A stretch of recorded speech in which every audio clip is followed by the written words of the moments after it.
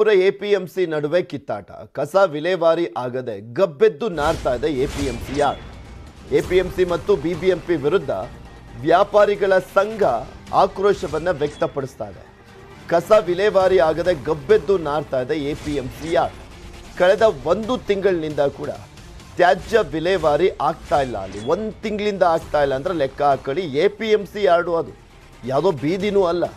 A P M C yard ಅಂದರೆ ಪ್ರತಿನಿತ್ಯ ನೂರಾರು ಲಾರಿಗಳು ಬರ್ತವೆ ವೇಸ್ಟೇಜ್ ಬಿದ್ದಿರುತ್ತೆ.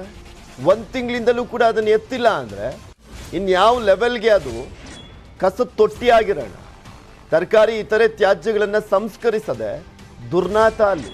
ಅಸಲಿಗೆ ತ್ಯಾಜ್ಯ ವಿಲೇವಾರಿ ಹೊಣೆ ಕೃಷಿ ಉತ್ಪನ್ನ ಮಾರುಕಟ್ಟೆದು ಅಲ್ಲಿ.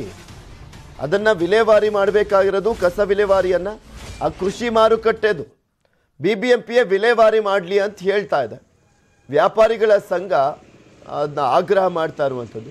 ಸುತ್ತಮುತ್ತ ಅಕ್ಕಪಕ್ಕದ ನಿವಾಸಿಗಳು ಕಸ ಹಾಕ್ತಾ ಇದ್ದಾರಂತೆ. ಇದರ ವಿಲೇವಾರಿ ಬಿ ಬಿ ಎಂ ಪಿ ಜವಾಬ್ದಾರಿ ಅಂತ ಎ ಪಿ ಎಂ ಸಿ ಅವರು ವಾದ ಮಾಡ್ಕೊಳ್ತಾ ಇದ್ದಾರೆ.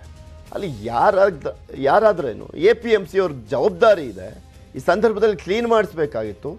ಕ್ಲೀನ್ ಮಾಡಿಸ್ತಾ ಇಲ್ಲ ಅವರು. ಇಬ್ಬರ ಕಿತ್ತಾಟಕ್ಕೆ ವ್ಯಾಪಾರಿಗಳು, ರೈತರು, ಗ್ರಾಹಕರು ಅಲ್ಲಿ ಗಬ್ಬೆದ್ದು ಕಸದ ತೊಟ್ಟಿ ಆಗ್ತಾ ಇರುವಂತಹ ಸಂದರ್ಭದಲ್ಲಿ ಯಾವುದಾದ್ರೂ ರೋಗ ಅಂಟ್ಕೊಂಡ್ಬಿಡುತ್ತೆ ಅನ್ನುವಂಥ ಭಯದಲ್ಲಿ ಓಡಾಡುವಂಥ ಪರಿಸ್ಥಿತಿ ಇದೆ. ವಿಚಾರವಾಗಿ ಬಿ ಬಿ ಎಂ ಪಿ ಹಾಗೂ ಉತ್ಪನ್ನ ಮಾರುಕಟ್ಟೆ ಇಲಾಖೆಯ ಅಧಿಕಾರಿಗಳ ನಡುವೆ ನಡೀತಕ್ಕಂಥ ತಿಕ್ಕಾಟದಲ್ಲಿ ಏನೋ ಇಬ್ಬರ ಮದುವೆ ಕೂಸು ಬಡವಾಯಿತು ಅನ್ನೋಂಥದ್ದು ಇದರಲ್ಲಿ ಇದನ್ನು ಸಂಬಂಧ ಇದನ್ನು ಕಷ್ಟಪಡ್ತಾ ಇರೋದು ರೈತ ಒಂದು ಕಡೆ ಆದರೆ ವ್ಯಾಪಾರಸ್ಥರು ಇದರಿಂದ ಸಮಸ್ಯೆ ಎದುರಿಸ್ತಾ ಇದ್ದಾರೆ. ಇವರಿಬ್ಬರ ಮದುವೆ ಮಧ್ಯೆ ನಡೀತಕ್ಕಂಥ ತಿಕ್ಕಾಟದಲ್ಲಿ ಅಲ್ಲಿ ಕಸಾನ ಕ್ಲೀನ್ ಮಾಡೋರಿ ಕ್ಲೀನ್ ಮಾಡ್ದೇನೆ ಸುಮಾರು ತಿಂಗಳುಗಟ್ಟಲೆ ಇಲ್ದೇನೆ ದಿನಪತ್ರಿಕೆಗಳು ವರದಿಯಾಗಿರುತ್ತೆ. ಸಂಪೂರ್ಣವಾಗಿ ಭ್ರಷ್ಟಾಚಾರವಾದ ಸಂಪೂರ್ಣವಾದ ಭ್ರಷ್ಟಾಚಾರದಲ್ಲಿ ಕೃಷಿ ಉತ್ಪನ್ನ ಮಾರುಕಟ್ಟೆ ಸಮಿತಿಯ ಯಶವಂತಪುರದ ಅಧಿಕಾರಿಗಳು ಭಾಗಿಯಾಗಿದ್ದಾರೆ. ಇವರ ವಿರುದ್ಧವಾಗಿ ಮುಂದಿನ ದಿನಗಳಲ್ಲಿ ಲೋಕಾಯುಕ್ತಕ್ಕೆ ದೂರು ಸಲ್ಲಿಸಲಿದ್ದೇನೆ.